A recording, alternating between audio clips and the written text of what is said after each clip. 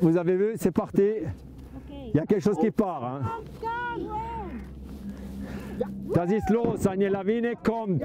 Eine schöne, gute Lawine. Vielleicht kriegen wir noch. Bis wo, François, soll ich gehen? Si quelque chose nous atteint, ça sera que la poussière de neige. Et là, on mettra la main devant la bouche, ça suffira. Donc euh, nous sommes dans le vallon de la Sionne, c'est le, vallon qui est juste au-dessus d'Arba, hein, de- les Mayens d'Arba. Et nous avons cette pente de 1200 mètres qui est face à nous et qui est nécessaire pour déclencher ces très grandes avalanches.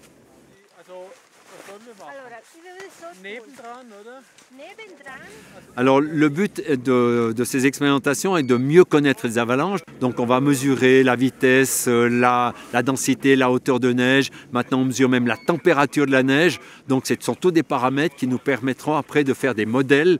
Nous avons différentes infrastructures. Donc nous avons, nous commençons tout en haut par euh, la station météo où nous mesurons le vent, euh, la direction, la force. Nous avons une autre station sur un replat où là on mesure la hauteur de la neige, la densité de la neige, la, chaleur pour avoir les conditions locales de, notre pente.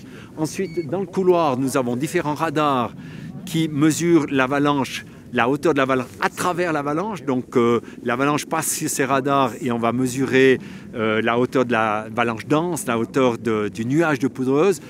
Ensuite, nous avons plus bas le mât, où là, nous mesurons tous les paramètres possibles. Et ensuite, en face de l'avalanche, on a le bunker. Et c'est dans ce bunker que l'on a des radars pour pouvoir mesurer la vitesse. Et puis, on a aussi des personnes qui sont dans ce bunker quand on déclenche ces avalanches. euh, ces personnes doivent euh, euh, équiper les instruments, allumer l'instrumentation, toute l'informatique, pour recevoir toutes ces mesures. Nous étudions les avalanches extrêmes pour pouvoir faire les cartes de danger. Donc, ce n'est pas les avalanches que déclenchent les ran- randonneurs. Ici, ce n'est pas du tout le but. On veut savoir jusqu'où va une avalanche. Donc, le but n'est pas de savoir quand elle, va se déclencher d'elle-même, puisqu'on utilise un explosif, mais de savoir jusqu'où elle va pour qu'après, on puisse faire les cartes de danger et éviter que des avalanches arrivent sur des agglomérations.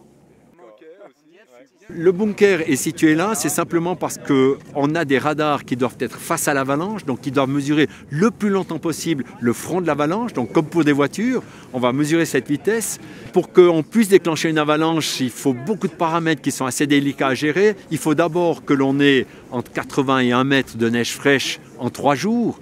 Ensuite, il faut qu'on ait du beau temps après ces chutes de neige, qui normalement sont des grosses chutes de neige. Donc, il ne faut pas que du brouillard reste, sinon évidemment on ne peut rien filmer. Mesurer, on pourrait, mais on ne pourrait pas assurer la sécurité. Donc, il faut la, visibilité, le soleil. Ensuite, il faut que personne rentre dans le vallon, évidemment, parce qu'au niveau ben, humain, c'est- c'est pas, pas gérable.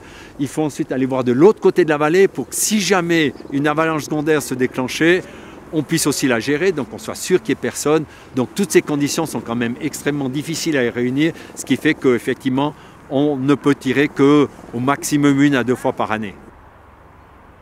Aujourd'hui, on a, je dirais, déclenché une avalanche moyenne, mais avec toutes les conditions qui étaient optimales, de visibilité, de mesure. Donc, effectivement, pour nous, c'est un essai extrêmement réussi, même si ce n'est pas la plus grande avalanche qu'on pouvait faire, mais elle était suffisamment grande pour la considérer comme extrême. Donc, oui, on est très content.